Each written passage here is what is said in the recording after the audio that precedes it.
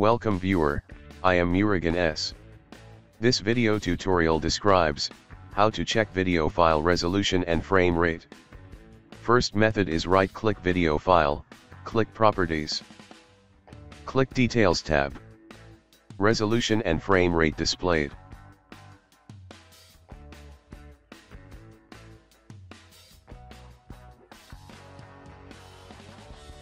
Second method is right click video file, open with, photos.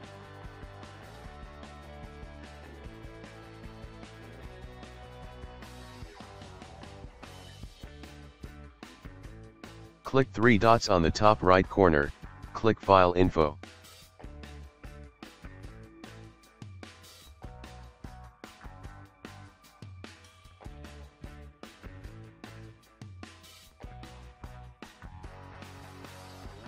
Third method is Open VLC Media Player.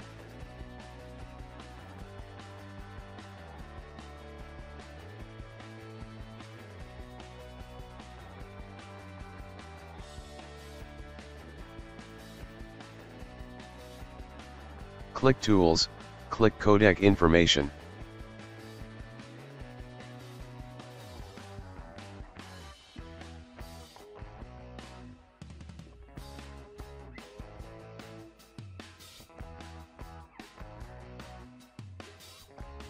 I hope this video tutorial helps to you, please like, share and don't forget to subscribe my channel, thank you very much, see you next video.